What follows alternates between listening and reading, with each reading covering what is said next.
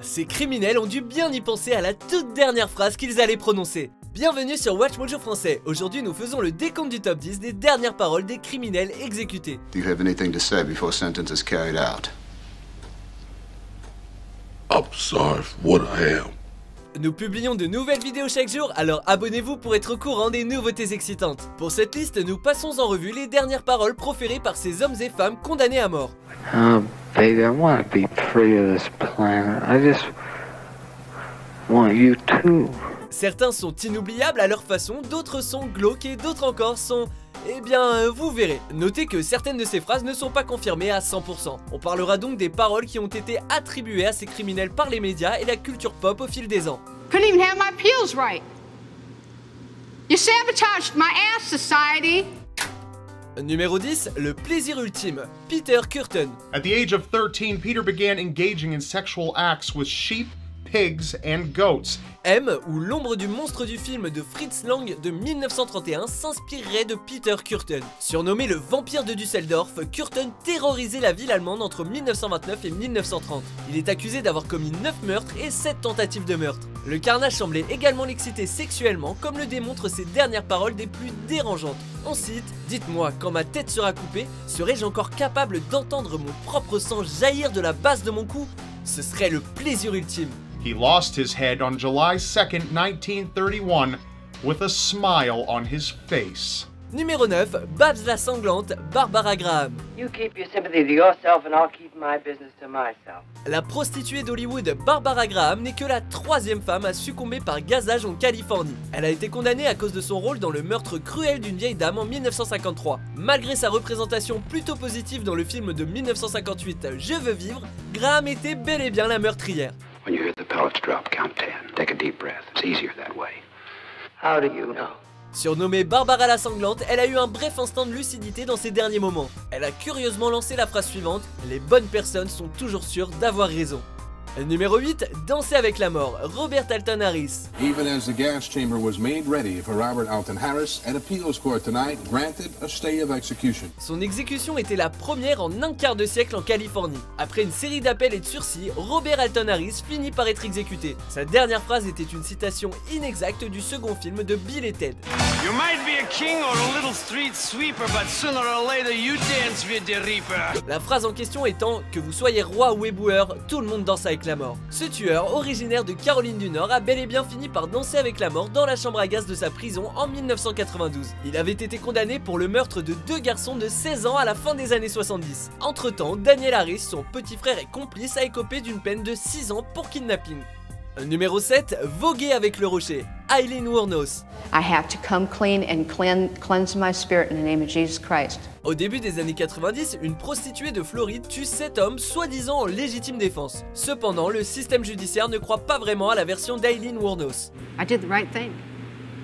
And I saved a lot of people's butts from getting hurt and raped and killed too. Elle est condamnée à mort par l'État de Floride pour ses crimes et comme vous l'aurez deviné, Wuornos allait inévitablement recevoir l'injection létale. Thank you,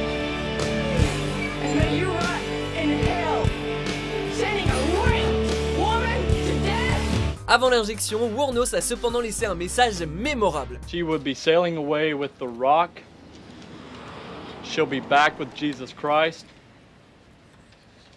Like on Independence Day, on June 6th, just like the movie, on the big mother ship.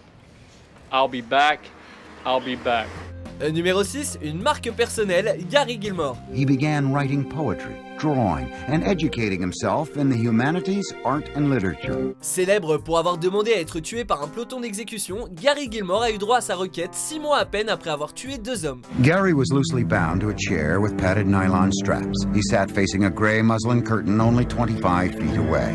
There were five small openings for the rifles. S'appuyant sur de nouvelles règles, cette exécution est la première en presque 10 ans au sein du système judiciaire américain. The order of the Fourth Judicial District Court of the state of Utah has been carried out. Gary Mark Gilmore is dead. Ces dernières paroles ont étrangement inspiré le slogan de l'une des marques de sport les plus célèbres du monde. Face aux 5 tireurs, Gilmore a sorti la phrase Let's do it, c'est-à-dire faites-le le 17 janvier 1977. Une petite décennie plus tard, des stars telles que Michael Jordan vendaient des baskets avec un slogan similaire. What if my face wasn't on TV every other second? Numéro 5, les mauvaises pattes, Thomas J. Grasso. Dans les heures qui précèdent son exécution, celui qui a tué deux personnes âgées lance tout un tas de phrases énigmatiques à la presse. Il récite entre autres des citations du poète T.S. Eliot et un de ses propres poèmes. I've been working on this poem for 12 years. Really? There's a lot of expectation. I don't want to disappoint my fans. Mais lorsque son heure est venue, Thomas J. Grasso n'avait qu'une chose à l'esprit des SpaghettiOs, une marque de pâtes américaine. Are you hungry? For SpaghettiOs. Yeah! Après avoir commandé tout un tas de plats pour son dernier repas, des hamburgers en passant par la tarte à la citrouille, Grasso a fait savoir qu'il avait été lésé en lançant Je n'ai pas une spaghettiose, mais des simples spaghettis. Je veux que la presse le sache.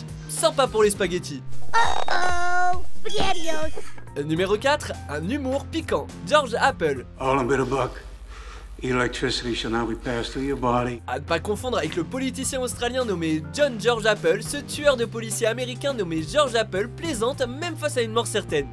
Pour comprendre la suite, il faut savoir que le nom Apple ressemble au mot Apple qui signifie pomme en anglais. Attaché à une chaise électrique en 1928, Monsieur Apple a donc fait un jeu de mots tout à fait à propos. On cite vous allez voir une pomme cuite. Dans les derniers instants de sa vie, il lance enfin la blague qu'il devait préparer depuis des années.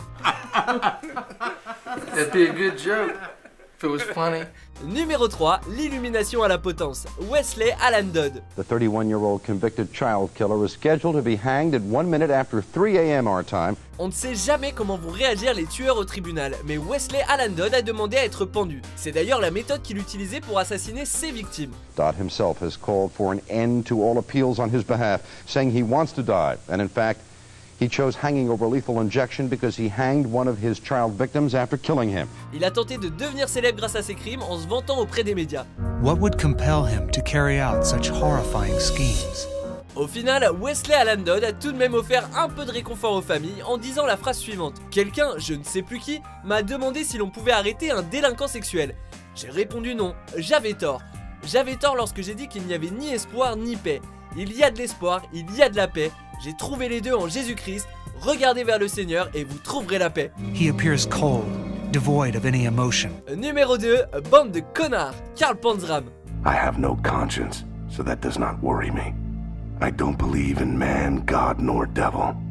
I hate the whole damn human race, including myself. Torturé à l'adolescence par des surveillants, c'est sans surprise que Karl Panzram s'est construit une vie dans la violence.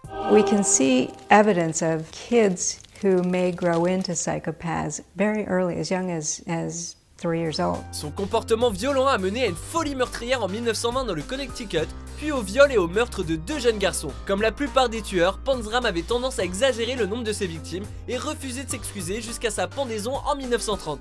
I'm sorry for only two things.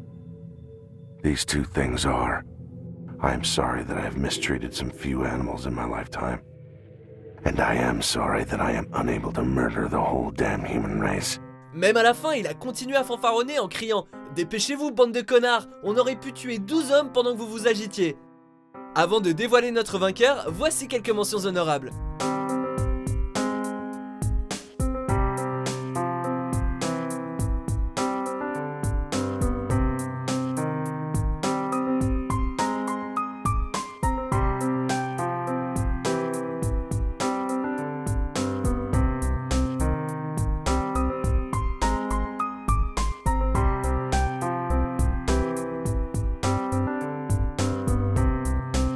Numéro 1, un jeu de mots convaincant, James French.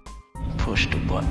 Seul criminel américain exécuté pour ses crimes en 1966, James French est le dernier à être exécuté avant l'affaire Furman vs Georgia qui a temporairement suspendu les exécutions en Amérique. Il a fait avancer le procès en ajoutant ses compagnons de cellule à la liste de ses victimes parce qu'il avait peur de se suicider. Choking on his French a proféré des mots étranges mais révélateurs une fois sur la chaise électrique et semble avoir devancé les gros titres du lendemain en déclarant French fries, ça c'est du gros titre.